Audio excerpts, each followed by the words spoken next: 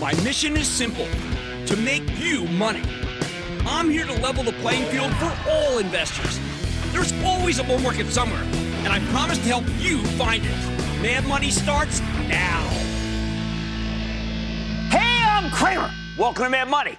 Welcome to Cramerica. Other people want to make friends? I'm just trying to help you make some money. My job is not just to entertain, but to educate and put in context. So call me at 1 800 743 CNBC or tweet me at Jim Cramer. Will our botched vaccine rollout end up shutting down the economy? Will the crazy action in short squeezes like GameStop cause the stock market to collapse under its own weight. Does it even make sense to fret about this stuff with a slew of major earnings reports on the way starting tomorrow? After a day where the market was torn in two different directions, Dow declining 37 points, S&P advancing 0.36%, and then Nasdaq gaining 0.69%, we need to talk about what I think of as the vaccination GameStop dichotomy. This weekend, we were treated to story after story about how President Biden's pledge to jab 100 million people in 100 days could be impossible to carry out. Even if we work out the logistics problems, there may not be enough vaccines to go around. Meanwhile, we keep hearing about these new COVID strains that could potentially beat the vaccine, making the whole exercise pointless. We already know the economy is weakening. While new infections have begun to pull back from their highs, although we're still seeing many days with well over 200,000 cases, the psychological impact is causing people to stay home, resulting in kind of a voluntary shutdown. But it's not like the economy's in ruins. For the 93% of the workforce that's still gainfully employed, they've got nothing to spend their paychecks on, so they either invest or pay down debt. The service economy may be in horrible shape, but unless you work in travel, leisure, dining, or sports, especially if your company is private and small, you may be doing just fine. Meanwhile, ultra low interest rates make it easy to buy a new house or a car, something Americans are doing in droves as they leave the cities for the suburbs or even the country. I talked to the homebuilders, and they say this may be the best housing market they've ever seen because people are desperate for homes with workspace and school space where they can be safe from COVID. You can't put a price on safety, people. And that's why homebuilders are selling lots so quickly. That's why they keep blowing numbers away. The wholesale exodus from cities has fueled a gigantic number of upside surprises. The new hybrid remote work style has been an enormous boon to the service industry and to retail. Oh, and if you're worried about going out, there's always the stay at home enablers. Here's some uh, logical ones Amazon, Netflix, Take Two, uh, Domino's. There's other ones just like it.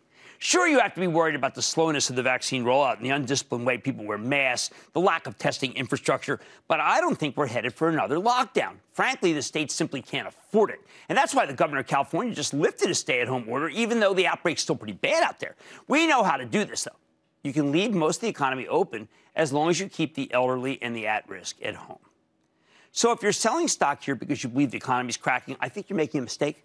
The Federal Reserve is keeping interest rates low. We hear from Chairman Powell on Wednesday, and I have no doubt he'll stick to his guns when it comes to easy money. Meanwhile, most consumers have lots of spending money that they'll be able and, and, eager to use once we're vaccinated and the world goes back to normal, please. But how about the second worry? That the stock market will be brought down by the wild actions in stocks like GameStop. That's that retailer place game. You go in and you buy video games, and the, you know you buy the hardware. Uh, this GameStop is really something we must talk about because it's been bid up uh, higher and higher by enthusiastic traders.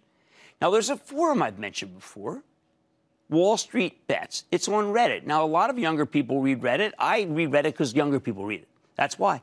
Now, they've got a community of very rabid investors who will choose individual stocks and then run them up as a group with commentary about how much they love them. Now, they don't target just any stocks. They go after the ones that are heavily shorted in order to come up with a short squeeze. They'll come up with a thesis all in display and then run them and run them until the shorts have to cover their positions, spurring still one more leg higher. Now, I know what it's like to get caught on the wrong side of a short squeeze. The only thing a short seller can really do when targeted is to throw in the towel. No point in trying to fight it. You just have to cover your short, meaning buy back the stock to close out your position before, before you run out of money. You can see this battle, how it played out in GameStop today. Look at this, okay? And that was just today. See that spike? Yes, the shorts believe the company's worthless, but the longs think it's going to the moon. Long term, I think the bear case is right. GameStop is a brick and mortar video game retailer at a time when people increasingly download their games off the internet. But I don't believe that short term. Short term, they have the new Xbox, they have new PlayStation. They just came out with those things. They're flying off the shelves. They've got a new big investor who's very smart. Uh, it's easy for the longs to come in and gun GameStop higher and make good money If it, it, it hasn't been made already, though, when the stock spiked to 159 today before closing at 76. The Wall Street bets crowd can easily find stocks with big short positions. They're, you can look them up. It's not a problem. GameStop was uh, ludicrously shorted. More than 148% of the stock had been sold short, which is nuts. For years, betting against this thing has been like shooting fish in a barrel. But they forgot what can happen when the longs gang up on you. And gang up is a technical term. I'm not saying they're working in concert. I'm not saying they're doing anything illegal. I am saying that they are in force. We saw the same thing today in B&G Foods. You know, we've had them on. Bed Bath, we've had them on too. They've got short positions of 36% and 63% respectively. They're going after Rocket Mortgage with a 31% short. It's crazy out there. Bed Bath Beyond stock, which opened up for 34, then leaped to 47, squeezed up by the cheerleading smaller investors, and then it plummeted to $30.68 to finish up just 47 cents. The squeeze didn't stick.